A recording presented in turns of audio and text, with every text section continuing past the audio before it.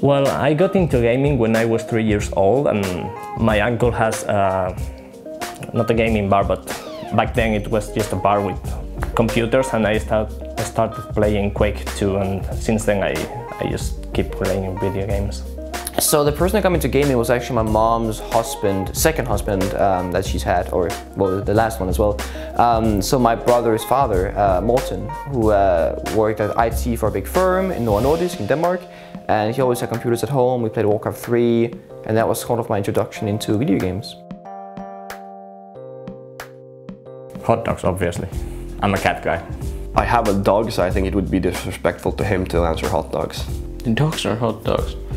Dogs. Dogs. By far. Dogs are hot dogs? Uh, let's go with dogs, shall we? It's the Montreal win, or the comeback win in Montreal. It has to be the best thing ever. It felt so good. I, I guess it would be winning an invitationals.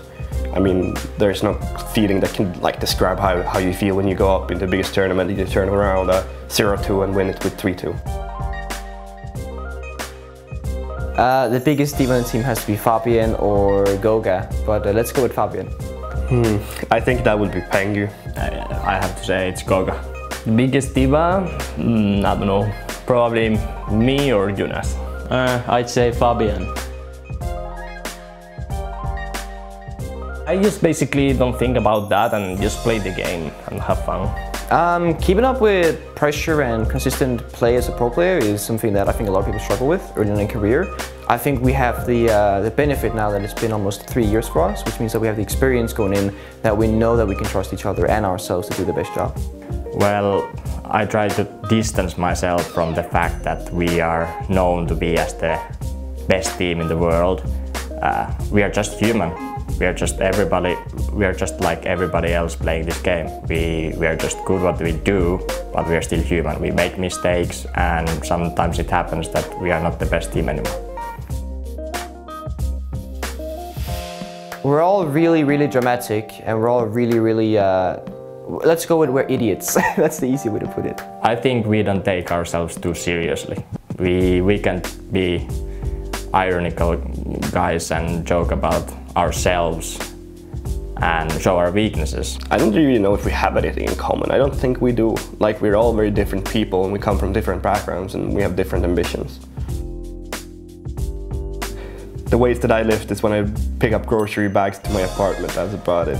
You'd have to ask Goga that, because Goga's the numbers guy. Uh, he just tells me what to do, and I just follow lead. Well, my record is 150 kilos with 6 reps. I can lift my own ass. Probably Ash still always has been because just because the gun, the operator, the speed and the gadget is very simple and you have flashbangs pretty much so perfect entry operator. Personally it's Zofia for me because Zofia has a good balanced gun, balanced movement speeds, uh, the gadget is useful, maybe a little bit overpowered but it doesn't change the actual gameplay too much even that she has a lot of utility. Currently, I really don't have favorite operators. I think it's more about mix, matching them up with each other to make a better combination of them. So for me, I don't know if I have really a favorite one. I mean, Lion is great. If I had to remove one map from the game, it would probably currently professionally be Oregon. Oregon. Oregon? It has to be Oregon. Probably would remove Oregon because it's very linear and like you literally set up step one, step two, step three and then you win the map. It doesn't really rely on anything kind of like adaptivity or any kind of team play, just strict up is one, two, three and you win. Yeah, I mean, after I retire, I, would really love to stay in esports somehow, like in Siege, especially like maybe an analyst or just a streamer would be like my ideal thing to do. I think I would love to stay in esports, either as a streamer, commentator, analyst, manager, coach, etc. Um, that's the dream scenario, but obviously at some point, even after that career as, as well, I would have to go and get a, a quote-unquote real job and pursue something uh, more real life based. If I would have been something else, uh, I would have been a teacher. I actually was studying to be a teacher when I quit to go a full-time pro player and I would be teaching history and civics and politics pretty much. So I share with Fabian almost every tournament and that is probably the worst thing you could do really. Um, I'm used to it, you know, uh, I know what to expect now but it took a couple of, you know, trials and errors so to speak to get there.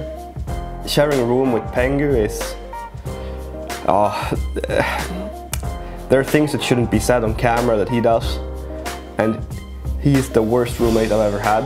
So far, it's al- always been Jonas, I guess just because we're Finnish.